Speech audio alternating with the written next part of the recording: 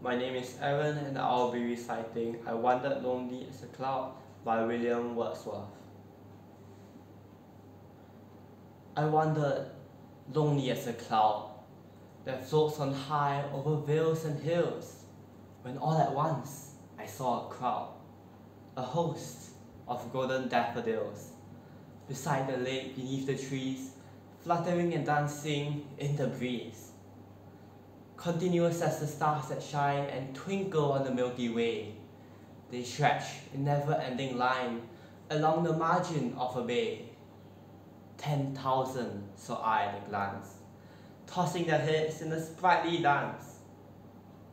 The waves beside them danced, but they outdid the sparkling waves in glee.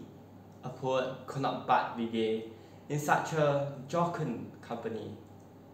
I gazed and gazed, but little thought what wealth the show to me had brought. For oft, when on my couch I lie, in vacant or in pensive mood, they flash upon that inward eye, which is the bliss of solitude. And then my heart with pleasure fills and dances with the daffodils. Thank you.